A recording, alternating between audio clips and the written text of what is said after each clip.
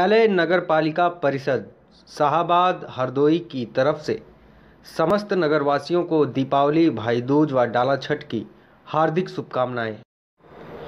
नमस्कार मैं हूँ अरविंद कुमार सिंह और आप इस वक्त देख रहे हैं IB India news UP dial सौ जनता की सुरक्षा के लिए पुलिस को डायल सौ इनोवा गाड़ी को दिया गया था लेकिन इसका इस्तेमाल शायद अब ड्यूटी पर तैनात सिपाही शराब पीने के लिए कर रहे हैं। ऐसे ही दो नशेबाज सिपाहियों ने शराब पीकर यूपी बत्तीस डी जी सोलह चालीस। डायल सौ इनोवा गाड़ी को चला रहे तेज रफ्तार से कोतवाली छिबरा मऊ इंदिरा आवास कॉलोनी में लगे सरकारी खंभे में जा लड़ गया टक्कर इतनी तेज थी कि आवाज़ सुनकर कॉलोनी के रहने वाले लोग वहाँ पहुँच गए। खंभे में गाड़ी के टकराने जाने से सिपाही कुंवर सैन कुंतल गंभीर रूप से घायल हो गया। सूचना कोतवाली पुलिस को दी गई। मौके पर पहुँची पुलिस ने घायल सिपाही को सौसैया अस्पताल में उपचार के लिए भर्ती कराया है। हालत नाजुक बताई जा रही है। घायल सिपाही के साथ ही सिपाही की हालत आप वीडियो में देख सकते हैं कि किस तरह पुलिस चीप पर बैठा या सिपाही अपनी इस हरकत को मौजूद पत्रकार द्वारा वीडियो को बनाने से मना कर रहा है। बेहोश यह सिपाही कई बार गाड़ी से उतरकर मना करने के लिए पत्रकार के कैमरे के करीब पहुंचकर लड़खड़ाता हुआ दिखाई दे रहा है। फ़िलहाल पुलिस डायल सौ के द्वारा की गई इस